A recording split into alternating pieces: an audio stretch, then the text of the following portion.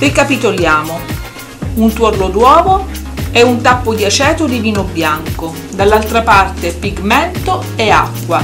Rimescoliamo le due soluzioni, quindi prendiamo la parte del colore, la mettiamo sul piattino, quindi goccioliamo qualche goccia, 2-3 gocce per ogni 2-3 gocce di colore, una soluzione 1 a 1, rimestiamo e dipingiamo.